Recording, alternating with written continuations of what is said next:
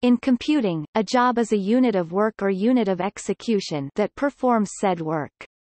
A component of a job as a unit of work is called a task or a step if sequential, as in a job stream.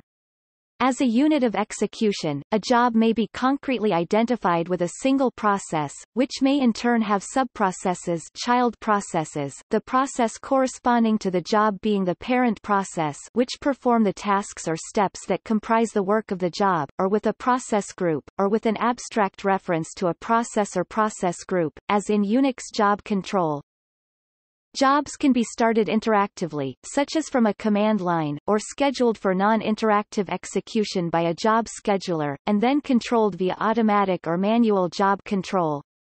Jobs that have finite input can complete, successfully or unsuccessfully, or fail to complete and eventually be terminated.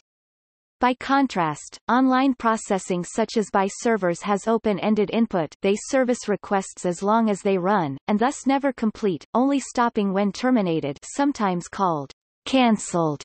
A server's job is never done. Topic history The term job has a traditional meaning as piece of work, from Middle English job of work, and is used as such in manufacturing, in the phrase job production, meaning custom production, where it is contrasted with batch production many items at once, one step at a time and flow production many items at once, all steps at the same time, by item.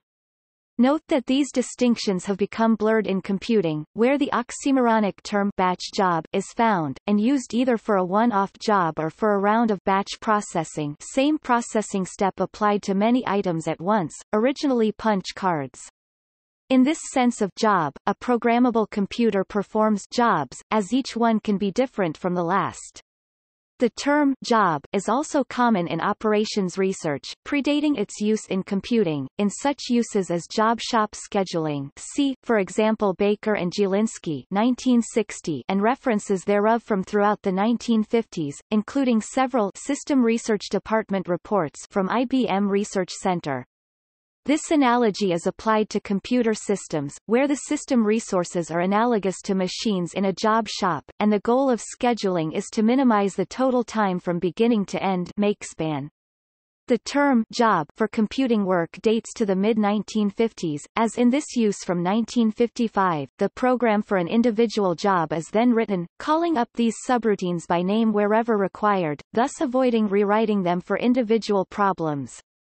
The term continued in occasional use, such as for the IBM 709 1958, and in wider use by early 1960s, such as for the IBM 7090, with widespread use from the job control language of OS 360 announced 1964.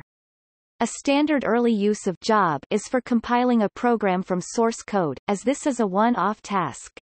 The compiled program can then be run on batches of data.